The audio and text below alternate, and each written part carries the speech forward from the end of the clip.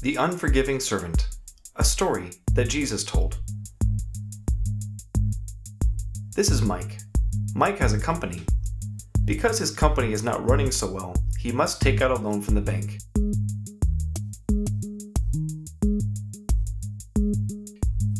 One day, the manager of the bank calls him in and asks him how he's planning to pay off his loan. Mike is desperate and begs the banker to give him more time. He tells him about his company and how hard it is to survive right now. The banker has mercy on him and decides to forgive his debts to the bank. Mike is incredibly happy as he leaves to return home. Now on the street, Mike meets Henry. Henry owes Mike $50.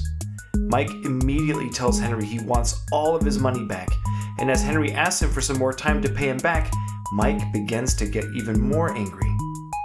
He calls the police and orders them to put Henry in prison. When the manager of the bank hears what Mike did, he gets angry. The manager calls Mike and tells him to give back the money that he had owed.